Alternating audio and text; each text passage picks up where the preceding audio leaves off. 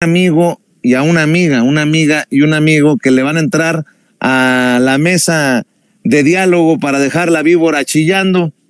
Déjeme saludar a la querida Beth Contreras Castillo, es analista, abogada, eh, periodista independiente y a quien estimo, quiero mucho y a quien ya tenía rato que no veía y que me tocó saludar hace unos días en la mañanera ahí en Palacio Nacional. Querida Beth, ¿cómo estás? Te mando un abrazo. Ay, perdón, muy bien, querido Vicente. Aquí muy feliz de estar en este, el mejor programa de YouTube sin censura y pues muy feliz de saludarte. Luego van a decir que te paso feria para que te expreses así, claro, Nos van a sacar los contratos. Déjame saludar a Julio Broniman, activista y también amigo de este espacio libro, libre como el viento. ¿Cómo estás, Julio?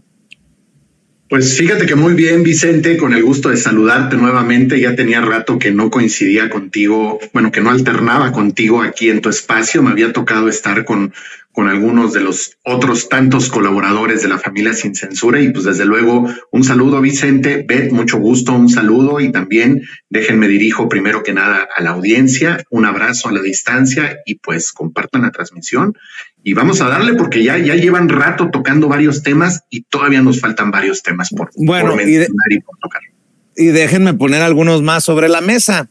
Vaya tunda, vaya tunda a Jorge Álvarez Maínez, el candidato de Movimiento Ciudadano, y a Xochil Gálvez, la candidata del PRIANRD, por parte de Sergio Gutiérrez Luna, quien en algún momento fue presidente de la mesa directiva de la Cámara de Diputados, diputado federal de Morena por el estado de Veracruz. Hoy sí, ahí en el INE, en el Instituto Nacional Electoral, las cosas están, híjole, se desataron los demonios. Vamos a ver, escuchar.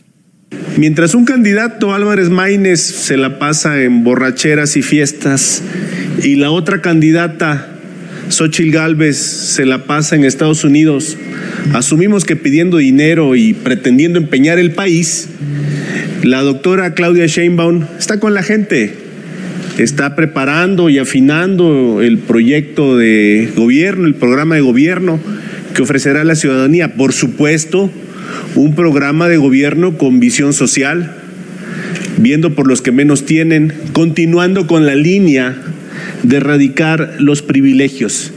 Y por supuesto estas ideas son las que se van a contrastar frente a la ciudadanía en los tres debates que organizará el INE. Por cierto, en el INE